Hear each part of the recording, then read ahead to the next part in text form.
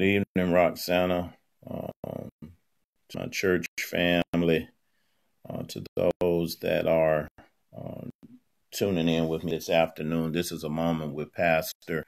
Um, I try to spend moments with you when the Lord puts something in my spirit and I want to share with you.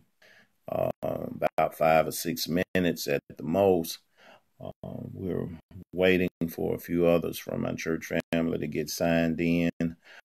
Um, God is really just an awesome God, and I, I hope as as you're coming in uh, this afternoon, you know that for yourself by now how awesome uh, God is. But today, uh, I, I want to share something that'll hopefully bless somebody uh, that's viewing this afternoon. Uh, as as a lot of you are are, are tuning in. Um, too often we get comfortable in our relationship with God. God really put it in my spirit today and has just really been working on me with this. Um, he says, come out of reserve mode. We're we're too reserved in our passion, we're too reserved in our relationship of intimacy with Him, that we're in a waiting see mode. We're waiting to see what God is going to do before we really and truly commit, which is devastating in our lives because we're playing catch up. God wants us to step out on faith. He wants you to go beyond what you can see, feel, or touch. He wants you to get to a place where your trust level is so so high in him that you know that he's going to do it without a shadow of a doubt and, and so often we fail to reach that level because we're always waiting to see what God is going to do next. Get out of the reserve mode. You got to go all in with him if you want to see the true benefits of him. I want somebody to know this afternoon you're on the verge. You're on the verge of a dynamic blessing. You're on the verge of a great breakthrough. You're on the verge of a great move of God in your own life. But the only thing that's holding you up is the fact that you're in reserve mode. You've got to go all in with him. And and until you go all in, God is not going to deliver everything that he can deliver to you. Some of you today watching even right now, the only hindrance between you and your blessing is you because you won't surrender your total self unto him. And he's waiting on you to do that. See, so often we get caught up watching what other people are doing we wonder how do they get to that place where they are in their faith walk where they believe beyond the shadow of a doubt that God can do anything for anyone? And, and you're trying to figure out how they get there. The problem is while you're trying to figure it out they're just trusting god. They believe him and take him for his words that he would never leave you nor forsake you. Believe that his word is true and he cannot fail because he's not a man that he could lie. They accept that to be fact. So many of you are spending so much time trying to figure out the process by which God works that you're hindering your blessing in your own life. You don't need to the, know the process and how it works, but you need to know that there's a promise that comes behind the process that's going to be a blessing to you in order to get to your promise, you have to go through the process, but you're not going through it alone. Lord has already promised you that He would never leave you nor forsake you through His word. Get out of reserve mode. Stop watching God to see what God is going to do next in your life when He's waiting on you to step out on faith and just trust Him to do what needs to be done in your life. Somebody needs to hear that today because that's the only thing between you and the promise that God has made you in your life. And, and I say this as, as, as I get ready to get off of here today. I'm going to say this to you that God has made promises to all of us. But when he made the promise, he put the gifts in each one of us that we would need to make our our promises come to pass. You already have the gift in you. The problem is you won't put it to use and trust God to bless it. You're operating in reserve mode. You've got to get out of reserve mode. You got to quit thinking about what's going to happen next. Well, think about it from this standpoint. When Jesus called those disciples, those disciples walked away from everything that they knew was sure in their life.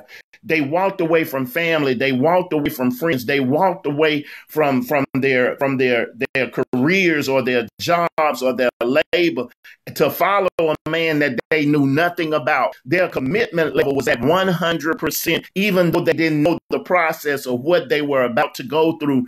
They knew that there was a promise somewhere. I want you to know today that the quickest way to get to the promise is to now get out of this mode of being in reserve. You, you're on the threshold. You're on the threshold of the greatest blessing in your life. But until you get out of reserve mode with God, God cannot deliver it. It's all done by faith. God doesn't owe you an explanation. He does not have to explain. All he has to do is keep his promise. And for somebody today, I hope that somebody watching today, you'll receive that in your spirit. You'll share this moment with Pastor, with somebody else, because this is what you needed to hear today in order that you'll get in high gear, make a hundred percent commitment Stop trying to please folk that can't help you. Stop trying to please folk that are hindering you. Stop trying to win the accolades of folk who have problems just like you do. You need to get with God. You need to go before Him and be honest about who you are in your own life. He already knows everything about you. He just wants you to confirm with him that what he knows is true and that you're willing to let him step in now and fix whatever's broke in your life. Get out of the way of God. Stop operating in reserve mode. And and and you I promise you, if you can do that, if you can stop operating in reserve mode, God is going to move in a mighty way in your life. This is a moment with Pastor. I didn't come in to take up a whole lot of time today. I just came in to share that with you as God has put it in my spirit to give it to you. And hopefully somebody will take hold of it and run with it. Share share this moment with somebody else.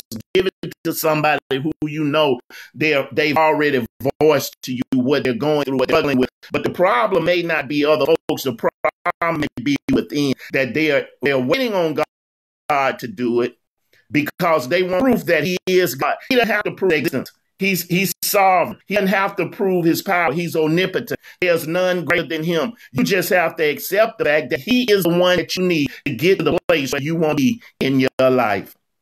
It's right around the corner, some of you. It's so close you can taste it. It's so close that you can smell it. But the problem is you won't take your hands away and let God be God and do what he needs to do. See, sometimes you go through setbacks. They're not setbacks. They're setups for a greater blessing.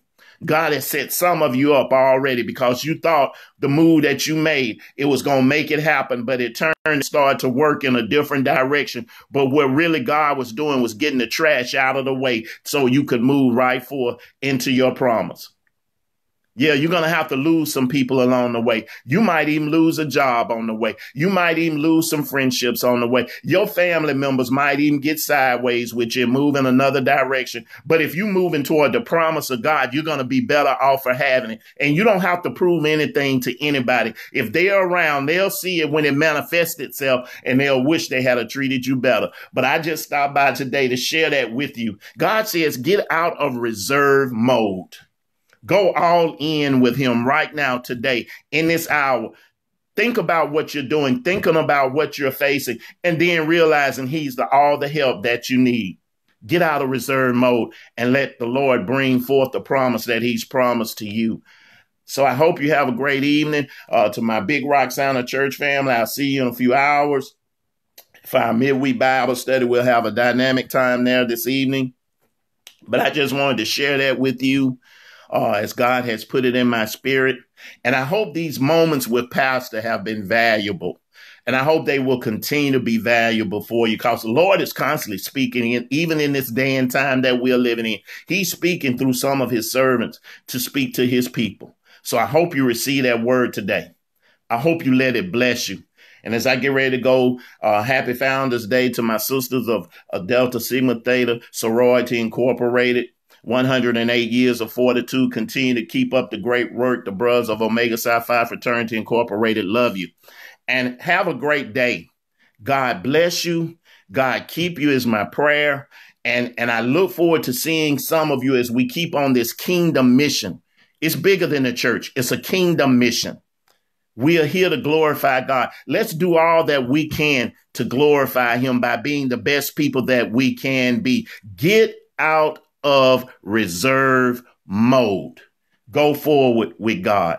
May God bless you and keep you today. Some of you, I'll see you later on this evening in our midweek Bible study. Pastor loves you. Pastor is always praying for you. So continue to be great, to do great things by allowing the Lord to have 100% surrender it all over to Him and become the people that you need to become. God bless you. Have a great day.